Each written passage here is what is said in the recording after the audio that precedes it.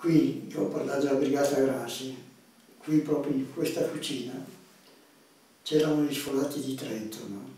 che dalla città di Trento sono andati via, e chi abitava qui era l'onorevole Paris, che era capitano dei partigiani in Val di Non. Cosa è successo? Qui Paris aveva la sua famiglia, la moglie, quei figli e una sorella che a Trento ci sono ancora una tipografia statutina, era di sua proprietà. Comunque questo capitano dei partigiani della Val di Non, l'onorevole Paris, quella sera che quando è passata la SS che ha fatto il disastro, lui la mattina è arrivato qui, perché i partigiani che c'erano qui, a Mosana, paesino prima qui, no?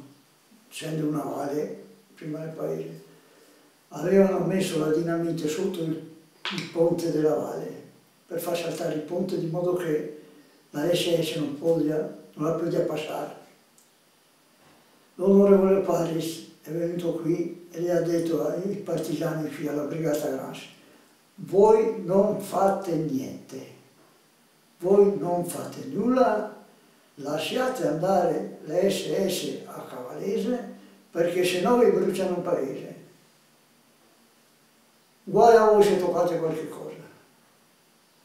E allora i partigiani non hanno toccato niente, l'SS è passata si è fermato qui, l'ho spiegato sul libro, è stata anche a casa mia e, e scrive queste robe, e poi è andata avanti. E vedi che a Molina e a Strementisi i partigiani li voleva fermare che bruciare i paesi. Ecco perché qui non hanno fatto niente, sempre per la parola dell'onorevole Paris, che era qui sfolato.